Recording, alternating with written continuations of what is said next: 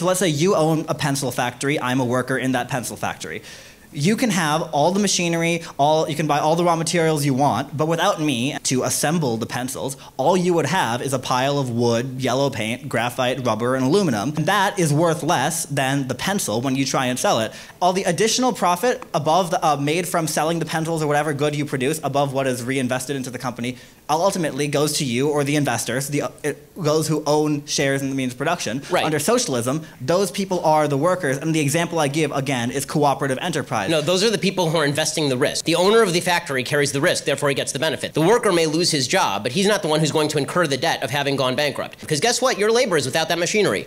Gunk. Nothing. Who do you think put more in? The guy who spent millions of dollars buying all the machinery, leasing the place, making sure there was a management structure, doing the LLC formation, making sure all the tax code was in compliance, or you standing outside because you can stick a piece of graphite into a piece of wood?